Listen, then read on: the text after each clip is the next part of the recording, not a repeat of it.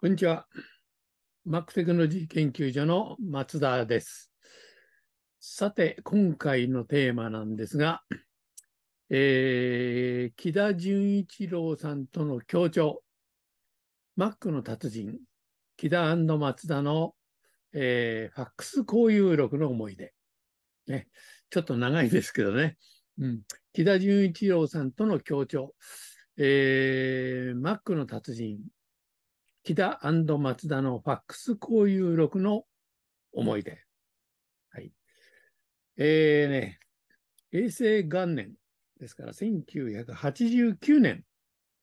のことになりますね。今日のお話、この件なんですけどね。はい。えー、一冊のね、本が残ってます。はい。えー、中には、ありがたいことに、すでにね、お読みになった方もいらっしゃるかと思いますけど、はい。えー、残念ながら今ね、もう絶版ですから、これそのものはね、えー、お読み、お買い求めできないと思いますね。なんか、タイミングよく古書かなんかでね、手に入れられるってことがあるかもしれませんけどね。えー、この本、うん、えー、まあ、あの、名前の通りですね、Mac の本なんですよね。はい。Mac の達人。えー、ファックス交友録ということでね。えー、まあ、あれですね、作家、そして、えー、評論家、ね、えー、で、まあ、あの、著名な木田純一郎先生。木田純一郎さんと私との協調なんです。全くもってね、えー、当時の私は怖いもの知らずという。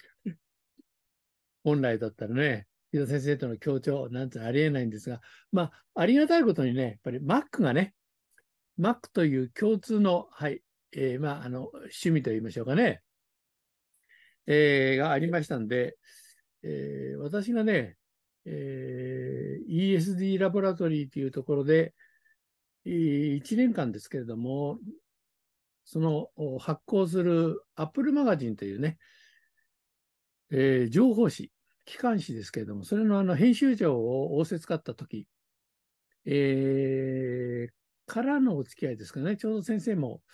の原稿を、えー、そこに載せさせていただくということでね、まあ、ですからもうね、35、6、7年、8年、はい、先生とのお付き合いはあるんですけどね。で、ありがたいことに、まあ、あの、協調はともかく、私の会社のね、イベントに、えー、ゲストとして、えー、出ていただいたり、はい。それからそうですね、札幌のプライベートイベントの時にはですね、えー、奥様とご一緒にね、えー、わざわざえー、遠くまでね、来ていただいたこともあります。はい。で、何よりもね、未だに記憶残ってるのはね、えー、何、何度か、何回かありましたかね。うん、あの、お茶の水のね、山の上ホテルってのありますが、えー、そこでね、えー、食事をね、ご一緒させていただいた。えー、この中にもね、ちらっとね、そんな話がありますけど、そういうこともありましたね。で、一度ですけど、えー、新宿あけぼの橋の私の会社のにですね、あの、あの、荒俣さんをね、お連れいただいて、えー、ご来社いただいたこともあります。はい。まあ、ともかくね、えー、私にとってもね、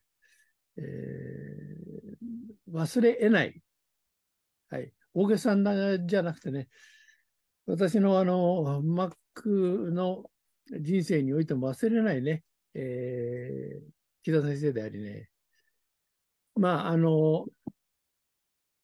多くのね、やはり、なんですか、影響を受けましたね。はい。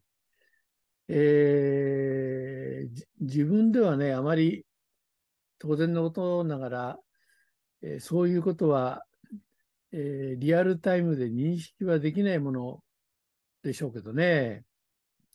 まあ、例えばね、まあ、もともと私、あの、読書好きで本をよく読む一人なんですけども、古代中国の歴史、例えばね、司馬遷の史記などをね、読むようになったのは、木田先生の影響だったと思いますし、あと、ラブクラフトをね、改めて読破した。これも何かの折にね、えー、そんなお話が出て、えー、もう一遍、えー、読んでみようと思ってね、ラブクラフトを改めて、えー、読破したこともありますし、そうですね、何よりも、あのー、諸橋版のね、大緩和辞典。ね、すっごい大きいんですよ。これを、これもね、私が、えー、手に入れたのは縮小版でしたけども、えー、先生のね、えー、影響で手に入れましたね。うん。まあ、とにかくね、えー、木田先生の、うんダンディズムっていうんですかね、モダンな考え方とったようなものにね、やっぱり大きく影響を受けてます。そしてね、私どものその、えー、Mac 専用のアプリケーションの開発の中で、えー、遂行型縦書き原稿用紙ワープロ、玉ずさというのがね、あったんですがね、Apple Japan のベストプロダクト賞にもいただいた、あの、製品ですけれども、いわゆる Mac の画面に原稿用紙が出てきてね、400字詰めの原稿用紙が出てきて、そこにきちんとマス目に一文字ずつ、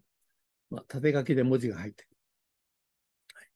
えー、もちろん印刷もできますし、それから Ruby も触れますし、そして、あの、まあね、ちょっと工夫をすれば原稿用紙そのものもユーザーの好みのものに、ね、自分の名前を入れたりね、色を変えたりといったこともできるというね、原稿用紙ワープロ。まだまだあの Mac は日本語処理が弱いんだぞと言われてた時期なんですけどね、えー、そうしたものを開発するに至ったのも、えー、振り返ればね、その、えー、北先生のね、影響だったと思ってます。はい。まあ、あの、そんなあの、お付き合いなんですがね、えー、これ、まあね、今では手に入んないかもと申し上げましたけど、実はね、私のあの、ホームページ、ホームページじゃないな、正確に言うとブログですね。ブログにね、PDF 版として無償で読めるようになってます。どなたでも。はい。ですからね、えー、ぜひね、この Mac の黎明期、ね、えー、これね、1985年からね、1987年、まあ、2年間ぐらいのね、様々な Mac に関する出来事を中心にですね、はい、えー、ソフトウェアの話はもちろんハード、それから、うん、目立ったニュースですね。なんか、三原山大爆発なんていうのがありましたね。えー、あと、ハイパーカードの話、ね、えー、Mac プラスにバージョンをアップするんだっていうような話。とにかく、あの、この回顧録を始めた原因ね、えー、最初の頃に、もう申し上げましたけれども、ハードウェアのスペックであるとか、こんな製品があったってことはね、えー、このインターネット時代ですから、えー、どなたかが記録に残し、それを我々もググるようなことがね、できるわけですけれども、えー、その時のね、なんていうんですかね、えー、時代、えー、の空気感っていうんですかね、曖昧ですけれども、空気感みたいなものはね、残せないわけですよ。それをなんとか少しでもえー、お伝えできないかなということで、この回顧録も始めたわけで、いわばね、まあ、あの、タイはありませんけど、この回顧録も、私の、そうですね、うん、一つの、えー、遺言状みたいなもんですかね、うん、のつもりでやってるんですが、まさしく、えー、これもね、そのものズバリですね。当時の生々しい、リアルな、はい、えー、木田先生と私の情報交換がファクシミリで、うん、綴った、はい。それをまあ一冊の本にしたってことなんですけどね。まだね、お読みでない方ね、ぜひね、その PDF 版、えー、無料で載っけてるうちに、ぜひ、えー、ご出読いただけたらと思うんですが、まあ、そのえー、はともかくとしてね、これ実はね、マックの達人とありますがね、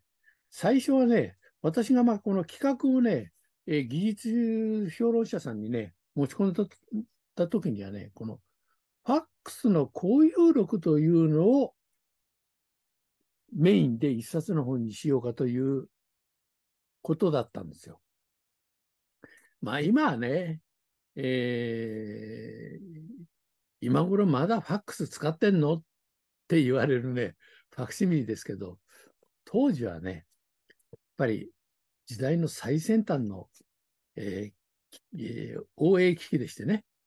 はい。懐かしいですね。OA だなんてことをね。で、たまたま、えー、木戸先生は、まあ、お仕事で、えー、どうしてもないと不自由だってことで、えー、ね、書斎にファクシミリ、えー、お入れになったようですよ。私もね、えー、まあ、新しいもの好きってことはありますけども、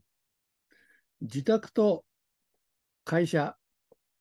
そこでのね、まあ、ある種のなんですかね、忘れないような覚え食いですかね。例えば、明日、何々をどのように準備するとか、誰々にこの件で、えー、連絡する。ね。今ではちょっと iPhone かなんかに書いときゃいいようなもんですけど、それをね、忘れないようにね、メモ書きしてね、会社会社で思いついたら、自宅にファックス入れとくんですよ。逆に自宅で何か明日会社行って忘れちゃいけないようなことを思いついたら、会社にファックス入れる。まあそういうことでね、えー、ミスを防ぐという、ね、それだけじゃないんですけど、そういうつもりでね、ファックス入れたんですがね、個人でね、余談ですけど、個人でね、えー、ファクシミリのローンを組んだんですね。個人でね、ファックス、ファクシミリを買うときにローンを組めるようになった最初の年だったように記憶してます。はい。えー、パナソニックのね、ファクファクシミリでしたけど、えー、記憶が正しければね、65万ぐらいしました。だからまだまだ個人でね、ファックスを入れるってこと自体が非常に稀な時代だったんです。で、お互いにファクシミリで、えー、情報交換するっていうことはね、電話と違いまして、相手の時間を束縛しませんよね。まあ、となくなんか感じで入れとけばいい。そうすると、えー、ご返事が返ってくる。ね、なんか、どんな音か忘れましたけど、リーってなった。あ、木田先生からファックスかな？っていうのね。えー、そんなことで、まあ、ワープルで文章を書いて、えー、ファックスで交換するということを、お互いファックス持ってんだったら、えー、ファックスで情報交換しましょうということになって、まあ、1985年からね、スタートしたわけです。無論これは、私事の、えー、内容ですから、公開するつもりはありませんでしたけども、こう、ファクシミリをね、捨てずに取っておいたんですけど、うん、我ながらすごく面白いんですよね。それでね、まあ、あの、技術評論者に、うん、企画というか、こんなこと面白いんじゃないですかねと持ち込んだら、まあ、えー、おなじみの編集者の方が乗っていただいて、え考えていたことになったんですが、ただね、内容を読んでいただくうちに、まあ当然のことながら、Mac の話題がもうどうでしょう、8割、9割 なんですね。だったら Mac の方にした方がいいんじゃないかということで、まあこんな形になったわけです。はい。まあそんなわけでね、えー、私はあまりね、北先生というお方が、えー、まあ、失礼ながら本職という意の方でね、どれほど、えー、大きな存在であるかというのも、当初は存じ上げなくなって、存じ上げなくて、全くもう怖いもの知らずでね、えー、お付き合いを始めさせていただいたんですが、まあ、えー、今日まで先生はあの大変気さくな方でありね、えー、おかげさまでそうそうしたことで今日までこういう交流を続けさせていただいてるんですけれども、言うまでもなくね、えー、作家であり、書士学や評論というね、ご本職のお立場ではね、あの、あの、荒俣さんでさえも、北先生、先生、先生とお呼びになる、もう、まさしく巨人ですね。この分野のね。はい。えー、そうした方とお付き合いをさせていただき、協調を作らせていただいた。まあ、全く本当にね、私の Mac 人生の中でもエポックメイキングなことでありましたし、幸せ者だとつくづく本当に感謝してます。うん、でね、えーまあ、せっかく木田先生のお話出たんで、えー、あれです、えー、もう一つね、付け加えさせていただきたいと思いますけど、2006年のことでしたけれどもね、はい、えー、2006年の4月の14日でした。はい。えー、東京新宿の日本出版クラブ会館、日本出版クラブ会館というところでね、木田純一郎先生のね、古希のお祝いと出版記念の会がね、開催されました。うん。えー、私もね、そのお付き合いの、えー、させていただいてたからでしょうね。ご招待をいただいたんですがね、いかにも場違い。ね。場違いだということは十分、えー、認識をしておりましたが、まあ、えー、末席にてもお祝いをさせていただこうとね、会場に向かいました。150名以上のね、まさしく、えー、テレビやね、新聞で、えー、お顔を拝見したお礼き歴のね、方たちで大変な熱気でした。うん。えー、まあ、従いましてね、そこでその木田先生と直接お話ししたのはほんのご挨拶程度でしたけれども、奥様とね、え少しお話できたのが、えー、嬉しかったですけどね。はい。でね、出版記念の会はね、えー、まあ、そうしたことで粛々と進んでいったわけですが、えー、まあ、なんですかね、先生によるね、えー、まあ、短い講演などもありましてね、えー、物珍しく、私なんかもう大喜びでしたけどもね。でね、何よりもね、この同日4月14日付でね、刊行された先生の新刊書がありました。えー、戦後創世記ミステリー日記。ね。うん、という本なんですよ。えー、戦後創世記ミステリー日記。ね。あそうかそうか。だまあ、またちょっとえー、本屋で探して楽しみながら読ませていただこうと思っていたんですが、なんと、えー、そのね、招待をしていただいたね、えー、方々にね、特別版、はい、特別版、非売品の特別版がね、用意されてましてね、限定150部。それが配られたんですよ。もちろん、私も頂戴しました。これです。ね。えー、戦後創世記ミステリー日記。これね、実は、木田先生のお若い時の写真なんですね。裏がね、またね、別の写真なんです。はい。ね。で、ここのところにね、焦点合うかな？はい。特別版限定150部、えー、非売品ってありますね。はい。ということで、まあ、あのー、市販されているものとね、もの、中身は一緒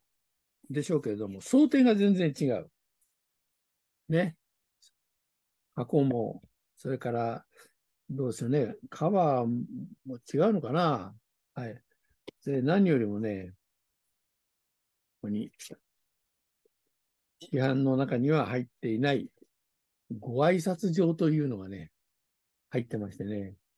木田先生フリークの一人としてはね、えー、お宝なんですよ。ね、この木田先生のね、お名前が入ってた、まあ、えー、入っている、えー、ご挨拶状。はい。えー、4月14日付のね、日付が記されてて、こうしたものがね、配られまして、無論、サイン本です。まあね、自慢話になっちゃってすいませんが、まあ、おかげさまで、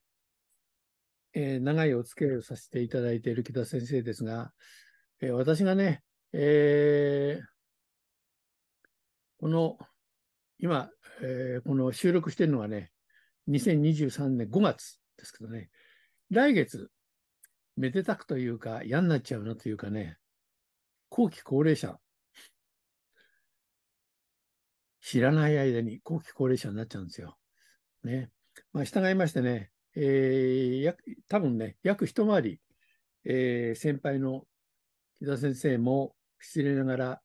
ね、ご高齢であり、えー、本当にね、ちょっと、健康とかね、はい、えー、体調に、あの、注意をされて、えー、ね、えー、元気で、えー、これからもお過ごしいただきたいと思いますね。なんかね、やっぱり、あの、なかなか私も足腰が思うようにならなくなったんで、デブ症になってね、あれなんですけど、なんかやっぱり機械をね、作って、えー、元気なうちにね、木田先生と、また今一度、そうですね、山の上ホテルかなんかでね、お食事しながらお話をしたいと願ってます。ということで、今日は木田純一郎さんとの協調、マックの達人、木田松田のファックス交友録の思い出としてお話を聞いていただきました。ありがとうございました。